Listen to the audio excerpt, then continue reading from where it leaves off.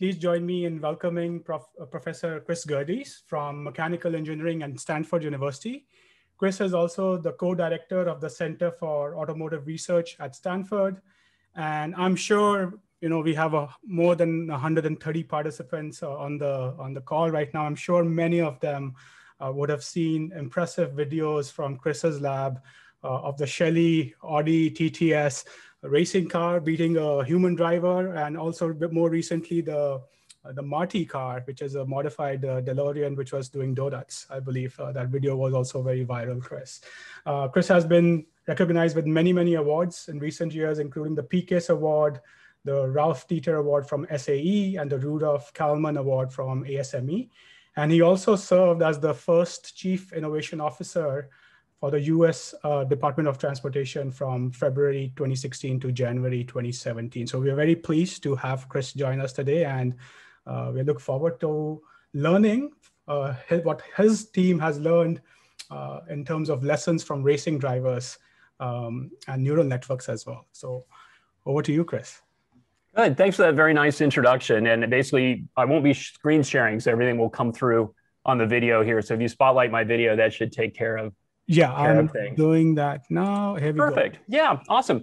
Great. Well, thanks for the opportunity to present here. And what I want to do today is not necessarily a, an update on the latest and greatest, but I, I'm really excited that there is a community now thinking about uh, problems that have been interesting uh, to me for well over a decade, kind of like some of the earlier earlier speakers in the first session.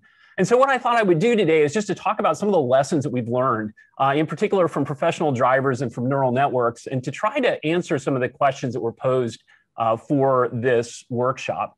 So, what I want to do today is to talk about sort of the demands uh, that racing places on modeling. We've talked a lot about the need for, for an accurate model. Well, how accurate? You know, what, what sort of orders of magnitude are we talking about? And then I want to actually do kind of a deep dive into a comparison that we did between Shelley, our automated race car, uh, and a professional driver. And this was sort of circa 2016. So it's not really representing the latest and greatest uh, of our racing algorithms, but basically humans haven't evolved too much since 2016. So I think the lessons we can take from human operation are still in fact correct there. And I want to introduce you to a technique which may be useful to you of using phase portraits to sort of visualize what's going on with racing controllers. And then share a few results from some neural network projects that we did as well. And finally, I kind of want to end on a philosophical point, uh, which I think is really important, but I haven't really heard too much, which is really do I want to follow a path or do I want to maximize acceleration? And what are the issues with trying to do both at the same time? All right, so without further ado, let's talk about racing. So, this last weekend, in fact, actually yesterday, was the running of the Indy 500. And if you look at the qualifying speeds for the Indy 500, these are in fact the top five qualifiers. And if you sort of look through this qualifying speeds here, you're like, there's a 0.15% difference between number one and number five, 0.15%. Has anybody here actually developed an engineering model that they would claim has 0.15% variation?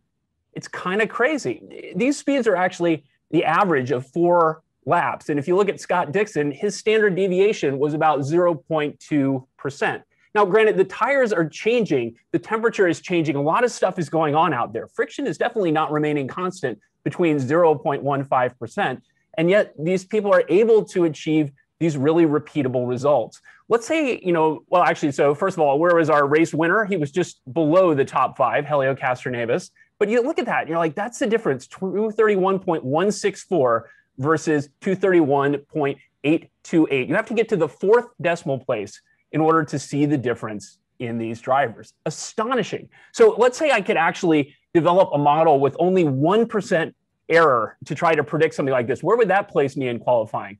Well, that would place me just, it would bump Max Chilton down. Uh, and the 30, there are 33 places in the Indy 500. You have to race your way in if you fall down below here. So we're almost off the grid, essentially with 1% error.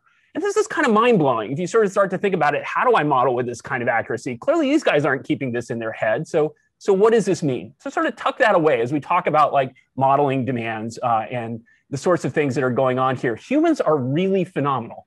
Uh, the best humans are really phenomenal. And I think there's some lessons to be learned here. All right, so what did we do? Well, we actually approached this problem with Shelley. Shelley was one of our first automated race cars. Shelley is a modified Audi TT. And when we started working, we developed a fairly straightforward approach to automated racing. So what we did with Shelley was to find a path using optimization. This is offline optimization. And on the car, we would compare to GPS and a digital map to see where we were along the path. We calculated a speed profile, which was based upon sort of a friction circle approximation where we did take into account load transfer laterally and longitudinally and how that would impact, very similar to sort of what Panos talked about earlier. Uh, and then we would accelerate and brake to match our desired speed profile and steer using a very simple algorithm. So we had a feed forward steering, which was based on a nonlinear tire model, our best guess at what steer angle we needed. And then a very simple linear look ahead controller. So we could sort of trim the steering a little bit to stay on the path. And this is what Shelley looked like going around the path. So this is actually Thunderhill Raceway Park. This is a sequence of turns where you can see that the car is actually taking a fairly nice racing line. And then you're like, that's a little weird. There's no one inside the car at all it's sort of weird to people from the outside, but actually uh, from the inside, it all looks pretty chill. Uh, you know, Shelley is making these calculations uh, and is able to drive around rather stably. So that's good. So how well did we do? Well, we did a couple of comparisons. The first comparison we did was with a champion amateur race car driver. So this is David Vodden. He's the CEO of Thunderhill Raceway Park. So he knows the track like the back of his hand. He actually uh, has a Spec Miata championship. So he's an amateur racer uh, but at the champion level of amateur racers. And what we found was that actually we overall did fairly comparably to David. There were a few places where we were faster. There were a few places where he was faster, just sort of, which was interesting in its own respect. But we actually were able to take this controller and get fairly comparable results to a human driver. You know, basically, depending upon how you stopped and started, you could easily show that we slightly beat or he slightly uh, beat us. But we're talking within tenths of a second. So we got a little bit uh, cocky with this and figured we'd throw down the gauntlet to J.R. Hildebrand, a professional driver who, by the way, started uh, the his 11th consecutive Indy 500 yesterday. And it turns out what was interesting is that JR was a little bit faster everywhere. And again, the speed variation that we saw was something on the order of a, of a percent, maybe a little bit more uh, in some segments. But overall, around the track, he was about 1% faster. And there's a few things that you can take away from that. You can be like, well, you know, you're done, right? I mean, we're within 1% of a professional race car driver. That's pretty good. Um, but on the other hand, we were like, but you know, why?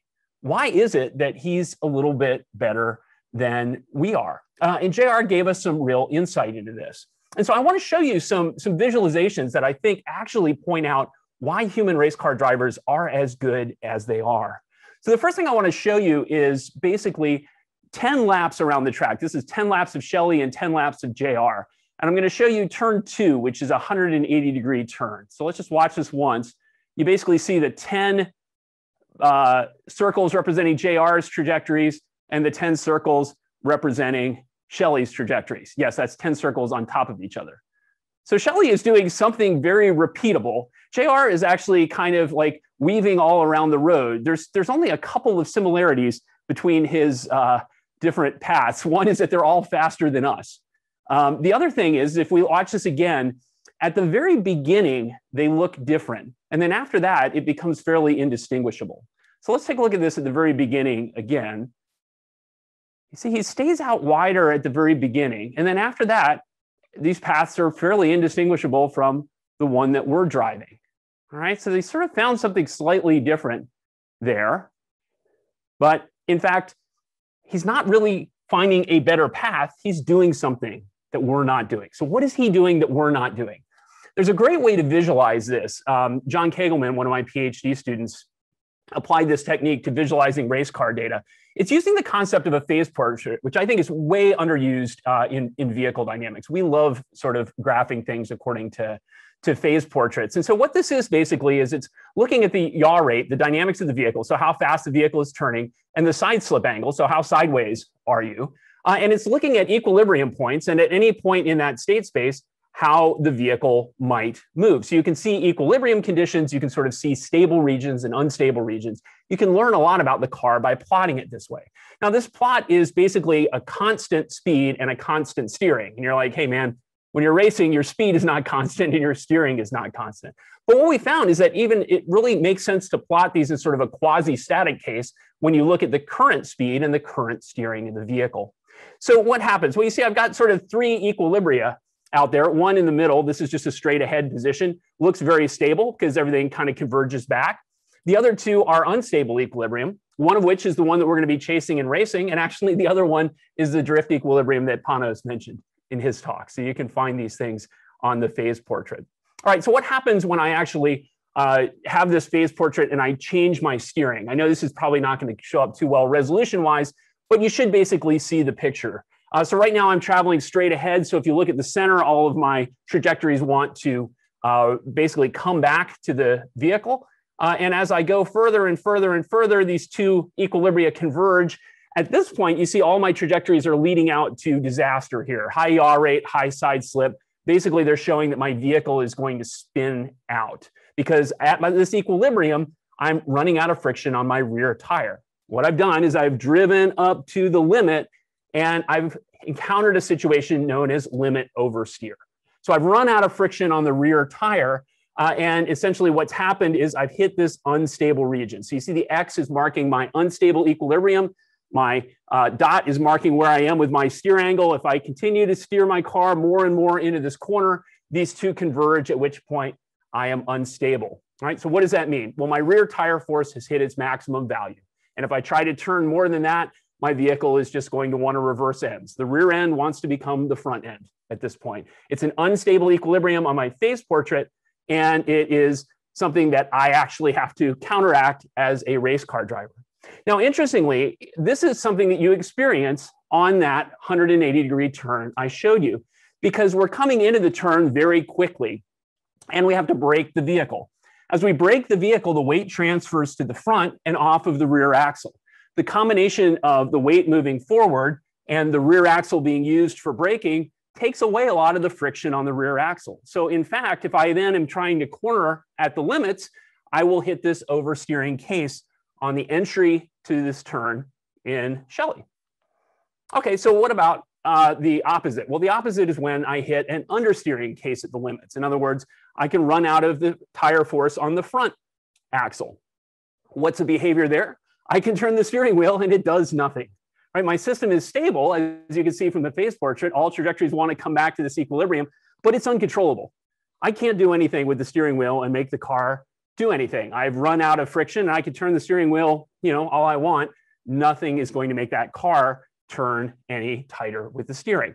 So there's no controllability. The front tire force is the maximum. And this is in fact what Shelley experiences at mid corner. Shelly is a production car uh, with four wheel drive, but a front bias on that. And so if I'm coming around at a neutral throttle in the middle of my corner, I- am going to actually have an understeering case. Right? So if I try to turn more, I'm not going to be able to do that, but my vehicle is going to be stable. All right, so if you understand these dynamics, then we can actually watch movies uh, of Shelley driving Shelley and JR driving Shelley through the corner and understand the difference between what our automated system and what the human driver are doing. All right, so what I'm going to do is I'm going to show you some movies. This is of our automated system going into turn two. So you can see down in the lower corner, that's our 180 degree turn, and that'll map our progress. Above that is our GG diagram showing our longitudinal and lateral acceleration. Above that is the steering angle, and here is the phase portrait. So I'm going to show this to you real time, and then we're going to slow it down. So this is Shelley on entry to turn two, where we're braking uh, and then cornering. So as we brake, you can see my dynamics become unstable. You see Shelley is maintaining a little margin out there, and then it becomes stable again. Very quick change in these dynamics. So let's watch it at one quarter speed. All right, Shelley goes in there. You can see the instability that is caused by braking. I'm on my way out towards that, keeping a slight margin. I'm sort of exploring towards the edge of my friction circle there. And now I start to get towards the steady cornering part of my turn. So I'm on my gas, my system becomes nice and stable now, and the car just sort of pushes out to the pure cornering section of my GG diagram.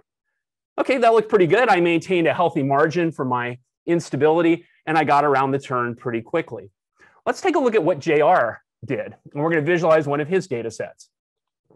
All right, so this is JR going into turn two. Again, I'm going to do this in real time. So JR goes in and oh my gosh, look at that. Oh, oh, oh, oh, he is chasing that unstable point until it becomes stable. Again, let's slow this down. You see, he is pushing it all the way to the limits.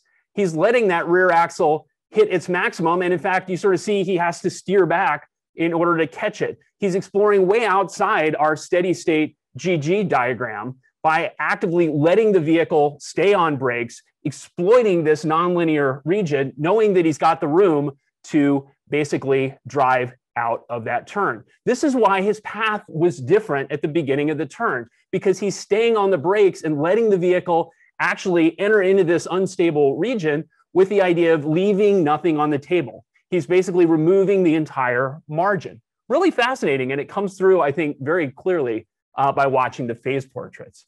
All right, so what did we learn from JR here? Well, he was a little bit faster everywhere on the order of 1%. Uh, he actually qualified 22nd, so we definitely would be off the grid if we're about 1% slower than, than JR.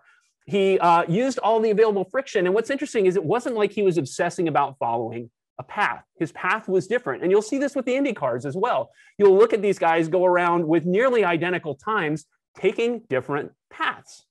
Really fascinating. So it's not about finding the path, it's about pushing to the limits. But in fact, these limits are exactly where our modeling uncertainties come in because we don't know uh, exactly what the friction is. We don't know what all the details of load transfer and everything look like when we're right out at the very limit. So maybe learning can help with this. And we've seen some different approaches to learning in, uh, in this uh, symposium.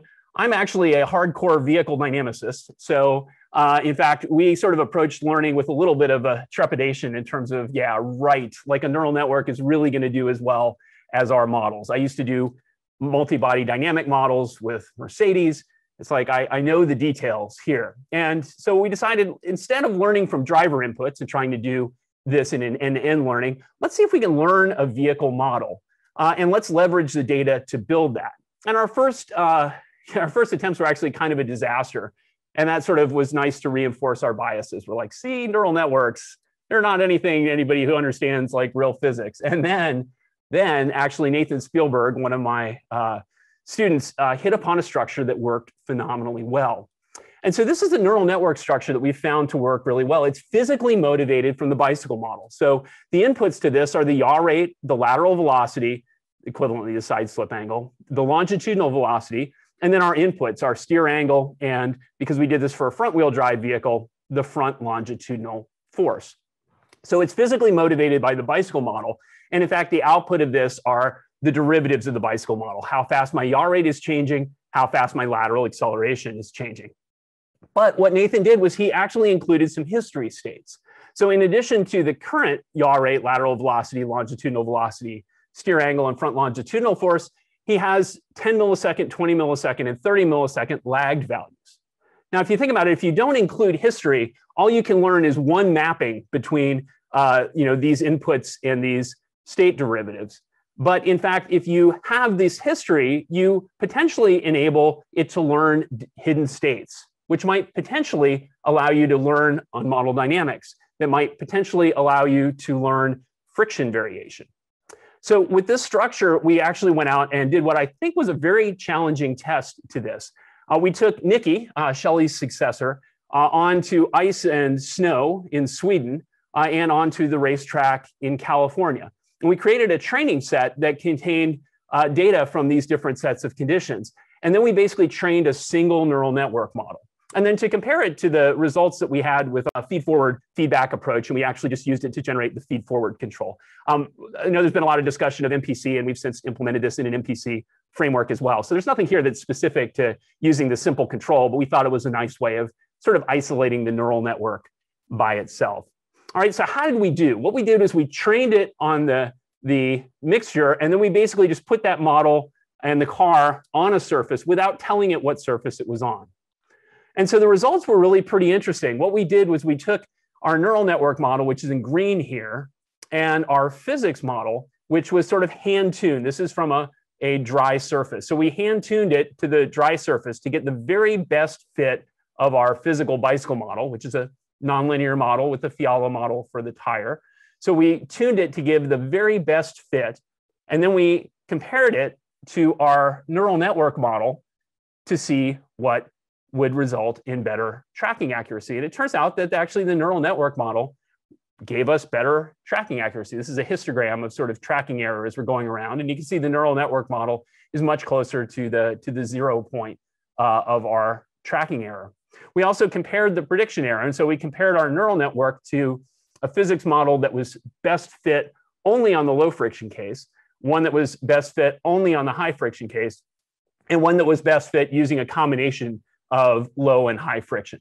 Now, obviously, that case of you know fitting a physical model to represent ice and and dry pavement is kind of a lost cause, right? Because you're going to end up with some average friction value, which isn't going to represent either. And sure enough, our neural network was about two orders of magnitude better uh, in terms of prediction error.